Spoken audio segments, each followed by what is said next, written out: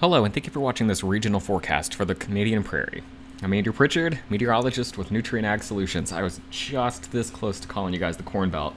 Here's a look at what we're looking at, just an overview picture over the next week. We'll be looking at mild conditions across the prairie, uh, dry conditions, especially across central and southern Alberta into southern Saskatchewan, localized periods of uh, you know fire weather risks in there.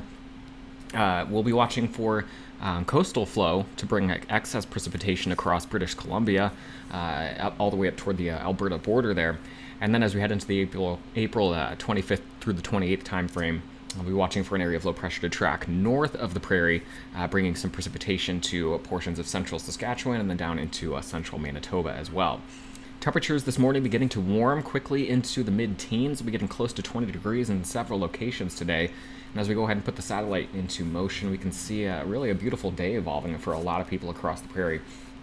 It looks like Alberta seeing a ton of sunshine uh, this morning. Manitoba, a lot of sunshine there. We got a patch of clouds here making their way through southwestern uh, and south central portions of Saskatchewan, but even southeastern Saskatchewan getting some sunshine this morning as well. Uh, beneath those clouds there in south central and southwestern Saskatchewan, we do have some showers falling there. And as we head through the afternoon, we will see some clouds developing and maybe some showers, maybe even a few thunderstorms developing across the prairie.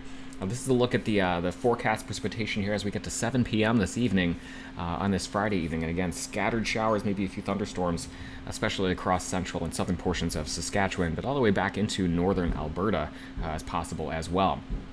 As we look at the upper level pattern here, just evolving over the next several days, uh, we're going to watch for a ridge to eventually uh, set up here on the backside of this storm system here, April 25th through the 28th, and that's going to lead to another period of warmer conditions across the prairie. So we go ahead and bring it back. This is what we're looking at right now. We've almost got three troughs right now, three areas of low pressure uh, in the west of, I guess, south of the um, the Aleutian Islands there, across uh, the Northwest Territories, and then over toward the Hudson Bay. We'll take the drawings off here and just kind of slowly creep through the next several days, heading into uh, the April 25th, 26th time frame. That would be this weekend into early next week. Uh, this is then where we'll watch that area of low pressure, that little trough, make its way through the prairie, bringing precipitation primarily north of uh, the prairie as we head through the 25th through the 28th. And then as we get on the back side of that, heading into the last days of April, the first few days of May, we'll be looking for uh, warmer conditions to return to the prairie. As we look at the uh, next seven days, precipitation total here in terms of an anomaly, again, a lot of brown shading here uh, across the prairie, especially uh, across portions of southern Alberta, and that's where uh, uh, the best threat for any localized wildfire risk is going to be uh, over the next week or so. Uh, but really, you have to head north of Highway 16 to get into the white shading, which is just near average. So, uh, dry-ish or, or, or, dry conditions continuing for just about everyone here over the next week or so, even though there will be some opportunities for some precipitation. So let's take a longer range look then, looking at the European model. We can kind of bring it back here, quickly go through this afternoon. Again, we already understand the chance for uh, some showers and maybe a few thunderstorms, uh, especially across this area, uh, maybe even some snow flurries as you head well off to the north. As we head into Saturday, Saturday morning, midday Saturday now, getting into Saturday afternoon and evening, a quiet day across the prairie. The exception being maybe across far southern Manitoba, where we could see some showers popping up, maybe a few thunderstorms in that area uh, as we get through Saturday afternoon and evening.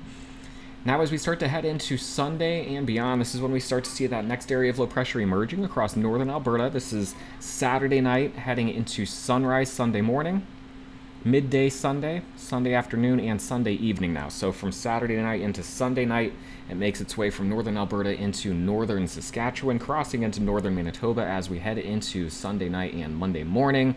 And again, just bringing some light precipitation to the region.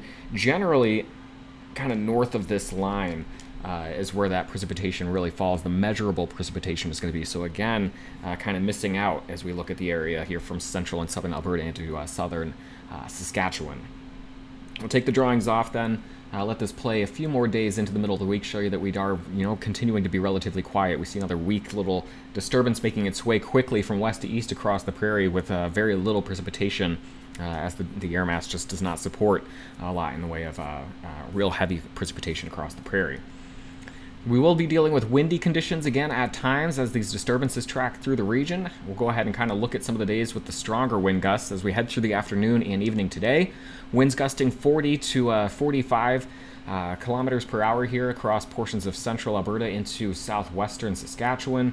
We'll then head into the afternoon and evening on Saturday, seeing those winds even stronger. This is when we could see winds gusting here 50 60, perhaps local gusts of 70 kilometers per hour uh, Saturday afternoon and evening across uh, this region here.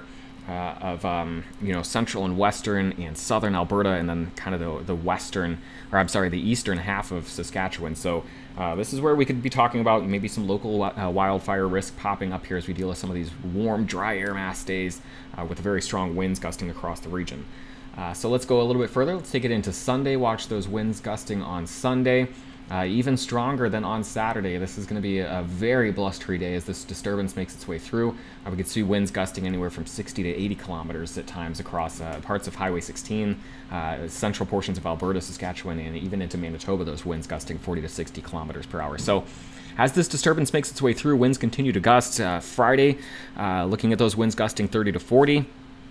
Saturday looking at 40 to 50 and then perhaps 60 to 70 uh, as we get into Sunday, uh, again with the highest winds being across this corridor. Total precipitation over the next week, watching it accumulate here in loop form again. Over the next several days, we're just looking for these pop up showers, pop up thunderstorms, bringing very light precipitation in very isolated fashion. Most people remaining dry as we talk about the next 48 hours or so. As we go uh, from Saturday night into Monday, we watch that storm system track across northern portions of the prairie. The more significant measurable precipitation uh, generally falling north of Highway 16, and we're still talking about anywhere from 5 to maybe 15 millimeters of precipitation. Really, no one uh, across the provinces of Alberta, Saskatchewan, and Manitoba going to get soaked by any stretch of the imagination over the next week. Snowfall, we're looking at the probability of an inch or more of snow. Uh, and again, that's going to be less than three centimeters of snow uh, or right about three and a half centimeters. I'm sorry, doing the math on the fly in my head. Uh, but regardless, not looking for accumulating snow across uh, much of the prairie. You'd have to head well into northern Alberta, northern Saskatchewan, and far northern Manitoba, uh, closer to the Northwest Territories border, to look for any kind of accumulating snow over the next week. The reason for that, well, we're not really dropping below freezing in many locations over the next week as we enjoy, again, another period of warmth, and again, uh, perhaps even warming up more as we head into the middle of next week, looking at the potential for uh, highs near 20 degrees again uh, in Calgary. Looking at for a high near 20 tomorrow in Edmonton, that high of 19, and then again near 19 as we get to midweek next week. Regina, you could see some 20 degree days in there as well as we head into next week. Here's a look in Saskatoon, and then finishing in Winnipeg. Again, a lot of places having those first 20 degree days of the year, and then we look at those overnight lows staying above freezing over the next 7 to 10 days. I hope you have a wonderful weekend, and we'll talk to you again on Monday morning.